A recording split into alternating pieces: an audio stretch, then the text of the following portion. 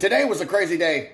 I saw this International Space Station crossing the moon, and I thought to myself, how come it's only about a quarter of the size of a plane crossing the moon? Seems like it'd be much smaller than that, especially when we look at the size comparison and see that both an airplane and the International Space Station are about the same size as a football field. And then you look at a football field from an airplane window and you realize that it looks pretty small from there. So then I wonder, is this really 250 miles away? Then I thought to myself, well, it can't be fake because I can go on YouTube and watch the live stream of the ISS coursing across the face of the Earth.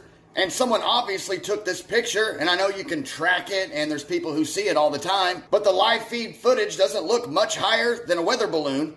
And we all know most satellites are launched by balloon. So then I came across this thing, which is a US patented triangular spacecraft that uses what is called unconventional spacecraft propulsion systems, which is a spacecraft having a triangular hull with vertical electrostatic line charges on each corner that produce a horizontal electric field parallel to the sides of the hull. This field interacting with a plane wave emitted by the antennas on the sides of the hull generates force per volume combining both lift and propulsion.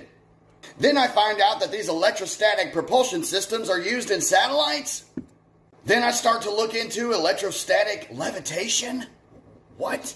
Then I find out about the electrostatics in our atmosphere that it has an equipotential increase of 100 volts per meter, which could possibly be the reason for the downward bias of things trying to seek equilibrium on the ground.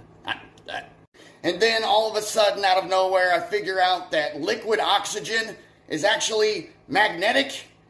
And I'm like, wait a minute. Hold on. If liquid oxygen is magnetic, and frozen oxygen is this beautiful sky blue, then does liquid oxygen somehow interact with this electrostatic orbital electromagnetic field? I don't know. Wait, what? Then I found this thing a toroidal field made out of copper and stones. All of a sudden, he hangs this golden necklace over it and it starts orbiting. Oh, have you seen the path of the ISS over the flat Earth? Yeah, that's the path it takes. The International Space Station path over the flat Earth. It's a toroidal field. I don't know. This is why they don't want us to do our own research, because simply just asking a question about this sent me on this whole rabbit